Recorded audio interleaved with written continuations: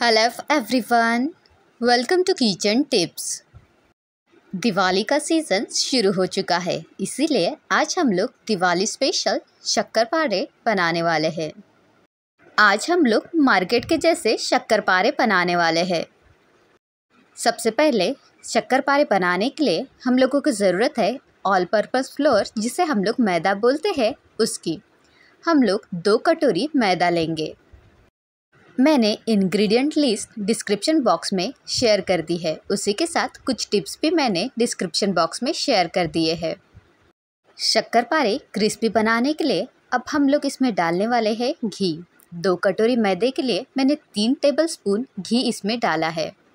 घी डालने के पहले मैंने इसे रूम टेम्परेचर पर रखा था। डायरेक्ट फ्रिज में से निकाल के नहीं डाला है। आप घी की जगह चाहे तो गरम तेल या फिर बटर भी डाल सकते हैं। उसी के साथ हम लोग इसमें थोड़ा सा बेकिंग सोडा और थोड़ा सा बेकिंग पाउडर डाल देते हैं। चलो, अब इन सबको हम लोग पहले अच्छे से मिक्स कर लेते हैं। अगर शक्कर पारे में आप लोगों ने मेज़रमेंट के हिसाब से घी, ऑयल या फिर बटर नहीं डाला तो चांसेस है शक्कर पारे कड़क बन जाएँगे या फिर तेल में ही घुल जाएँगे। इसीलिए प्रॉपर मेज़रमेंट से सब कुछ डालना इंपॉर्टेंट है। उसी के साथ मैंने आधा कटोरी इसमें पीसी हुई चीनी डाली है। चीनी डालने के बाद इन सबको अच्छे से मिक्स कर लेते हैं और फिर शक्कर पारे का आटा गूँथना शुरू कर देते हैं। थोड़ा थोड़ा करके हम लोग पानी डालेंगे और आटा गूँथ लेते हैं। आटा बहुत ज़्यादा सॉफ्ट या फिर बहुत ज़्यादा गीला नहीं भिगाना है, इसे नॉर्मल रोटी की तरह भिगाना है। अगर आप आटा बहुत ज़्यादा गीला भिगाते हैं तो चांसेस है कि शक्कर पारे जो है, वो नरम बन जाएँगे। या फिर आटा बहुत ज़्यादा कड़क गूँथते हैं तो चांसेस है शक्कर पारे दाँत से टूटेंगे भी नहीं। इसीलिए आटे को हम लोगों ने रोटी की तरह गूँथा है, ना बहुत ज़्यादा सॉफ्ट या फिर ना बहुत ज़्यादा सख्त। इस तरह आटा भिगाने के बाद हम लोग इसे 20 मिनट ऐसे ही रहने देते हैं। 20 मिनट के बाद हम लोग इसे एक बार गूँथ लेते हैं। 20 मिनट के बाद आप ऑब्ज़र्व करेंगे कि इसके ऊपर के जो क्रैक्स है, वो ऑटोमेटिक कम हो चुकी है।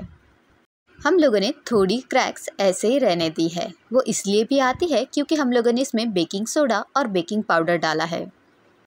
चलो, अब आटे की छोटी सी लोई बना लेते हैं और शक्कर पारे के लिए रोटी बेलना शुरू कर देते हैं। इसकी रोटी हम लोग थोड़ी सी जाड़ी ही बेलेंगे। रोटी बेलते वक्त हमें इस चीज़ का ध्यान रखना है कि रोटी को हम लोग एक समान बेलें। कहीं से बहुत ज़्यादा पतली या फिर कहीं से बहुत ज़्यादा मोटी नहीं होनी चाहिए। अगर रोटी बेलते वक्त वो चिपक रही है तो आप थोड़ा सा सूखा आटा ले सकते हैं या फिर उसकी जगह तेल ले सकते हैं।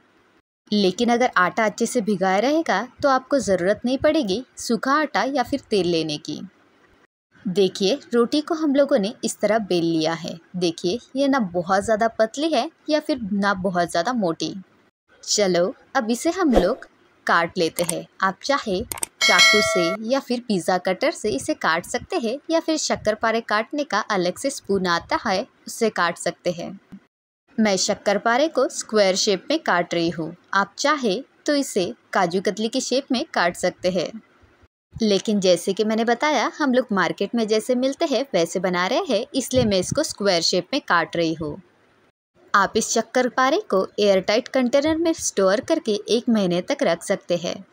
फ्राई करने के पहले शक्कर पारा देख लीजिए, मैंने इतना मोटा इसे बेल लिया है और काट लिया है। फ्राई करने के बाद ये और भी ज़्यादा फूलेंगे। चलो, इसे फ्राई करने के लिए सबसे पहले हम लोग कढ़ाई में तेल गरम करने के लिए रख देते हैं। तेल अच्छे से गर्म हुआ है या नहीं, वो सबसे पहले हम लोग थोड़ा सा आटा डाल के चेक करेंगे। अगर आटा डालते से ऊपर आ रहा है तो समझ लीजिए कि ऑयल परफेक्ट है। चलो, अब इसमें हम लोग शक्कर पारे फ्राई कर लेते हैं। शक्कर पारे डालते वक्त हम लोगों ने ऑयल में एक साथ डाल दिए थे। लेकिन ऑयल में डालने के बाद आप नोटिस करोगे कि शक्कर पारे किस तरह अलग अलग हो रहे हैं और ये किस तरह फूल भी रहे हैं। इसे हम लोग तब तक फ्राई करेंगे जब तक इनका कलर हल्का सा गोल्डन ब्राउन नहीं आ जाता। इसे हम लोगों ने मीडियम फ्लेम पे ही फ्राई किया है। आपने नोटिस किया ही होगा कि शक्कर पारे हम लोगों ने जिस साइज़ के डाले थे, उस साइज़ के डबल हो चुके हैं। ये इफ़ेक्ट है परफेक्ट घी डालने का। इससे शक्कर पारे कुरकुरे बन जाते हैं। और खसते भी। चलो इस शक्कर पारे को हम लोग एक प्लेट में निकाल लेते हैं। और इसी सेम तरीके से हम लोग बचे हुए आटे की रोटी बेल लेते हैं, फिर उसे काट लेते हैं और फ्राई कर लेते हैं।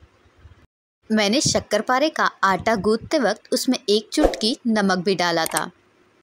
मैंने डिस्क्रिप्शन बॉक्स में नमक पारे की रेसिपी शेयर की है। सारे शक्कर पारे को हम लोगों ने फ्राई कर लिया है। देखिए, ये कितने ज़्यादा डिलीशियस लग रहे हैं। दिवाली और फेस्टिवल स्पेशल मार्केट जैसे शक्कर पारे खाने के लिए रेडी है। ऐसी रेसिपीज़ और देखने के लिए चैनल को लाइक शेयर और सब्सक्राइब करना मत भूलिए। और साथ ही में बेल आइकन भी दबा लीजिए ताकि आने वाले हर एक वीडियो का नोटिफिकेशन आपको मिलता रहे। Thank you for watching